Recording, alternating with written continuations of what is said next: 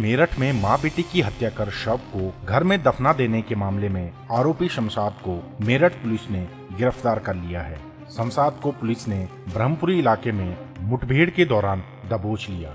Double murder को लेकर शमशाद पर ज़िले के एसएसपी ने पच्चीस हज़ार की इनाम राशि भी घोषित की थी। आरोपी शमशाद ने मेरठ में एक माँ बेटी की हत्या कर उनके शव को घर में ही दफना दिया था। मेरे गलत पैर रखा है कोई दिक्कत नहीं गलत पैर गलत रखा पैर है? ना कि कोई कर ले कोई दिक्कत नहीं बिना फेंक दे तो आगे भिजलवा क्या हाथ भिजलवा क्या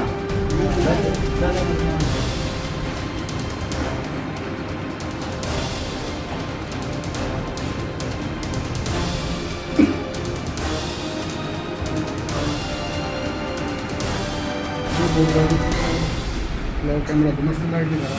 कौन से।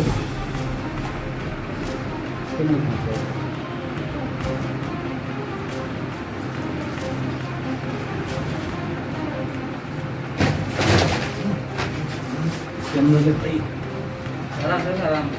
भाई एक बात सही कर इसके अंदर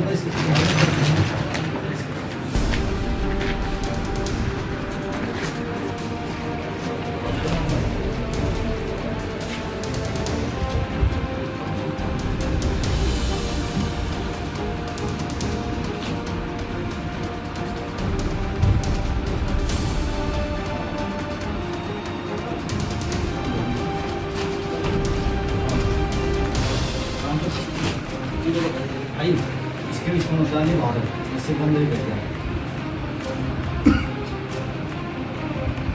महिला की पहचान गाजियाबाद के लोनी निवासी की तौर पर हुई थी, जो पिछले पाँच साल से अपनी बच्ची कशिश के साथ आरोपी की पत्नी बनकर रह रही थी। पुलिस के मुताबिक महिला का नाम प्रिया था और वह शादीशुदा थी, जिसका पाँच साल पहले शमशाद के साथ प्यार परवान चढ़ा।